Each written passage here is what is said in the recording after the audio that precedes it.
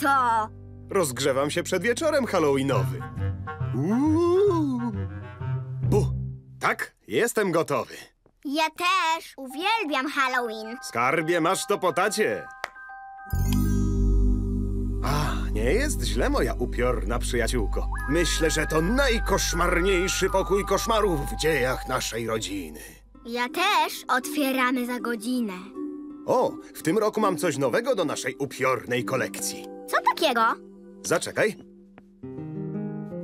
Lampa z dyni? Przecież mamy ich okropnie dużo. Ale nie taką jak ta. Ta ma czujnik ruchu. Kiedy ktoś przechodzi... Straszne. Teraz ja. Hmm. Zaraz. Przestała działać. Hmm, muszę sprawdzić, co się stało. O! Ciasteczka nietoperze się upiekły. Zaraz wracam. Tato, wezmę ją do kliniki. Może wymyślę, dlaczego nie działa.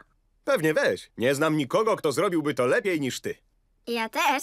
O ile mi wiadomo, jestem najlepszym lekarzem zabawek. Zapraszam do gabinetu.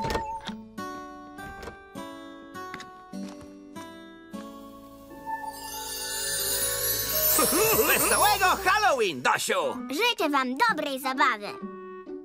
Ależ wy macie wspaniałe przebrania. Dzięki, Dośka! Masz niczego sobie. I mnie się podoba. dziękuję. Mrożku, za kogo się przebrałeś? Nie widać? Za bałwana? Wyglądasz świetnie. Dziękuję, starałem się. Dzieci już wyszły po cukierki?